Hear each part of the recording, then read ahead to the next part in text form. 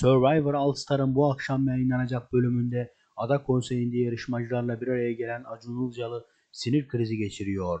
Öfkeden deliye dönerek siz ne istiyorsunuz diyerek tepki gösteren Acun Ilıcalı sandalyeyi fırlatarak uzaklaşıyor.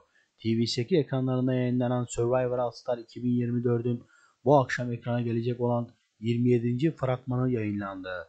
Ada konseyinde sinirlenen Acun Ilıcalı tepki göstererek sandalyeyi fırlatıyor. Konsey öncesi dokunulmazlık oyununda bir araya gelen kırmızı takım yarışmacılar arasında gerginlik çıkıyor. Yunus Emre'ye artistik yapma şimdi de seni doldurdular diyerek tepki gösteren Nagihan sinirlenirken Nefise ve Aleyna arasında tartışma çıkıyor. Mustafa Kemal ile bir araya gelen Nagihan ise takım arkadaşlarımıza bütün planlarınızı bozuyoruz. Madem güçlüleri potaya koyuyorsunuz biz güçlüleri de oynamıyoruz diyor. Öte yandan ada konseyinde öfkeleden deliye dönen Acun Ilıcalı Kardeşim siz ne istiyorsunuz? Ne istiyorsunuz söyleyin bana diyerek sandalyesini fırlatıyor. Uzun yıllardır ekranlarda yer alan Acun Ilıcalı ilk kez bu kadar gergin gören seyirciler ise Acun'a ne oldu? Acun ne yapıyor? Böyle yorumunu yapıyor. Şimdilik videomuzun burada sonuna geldik.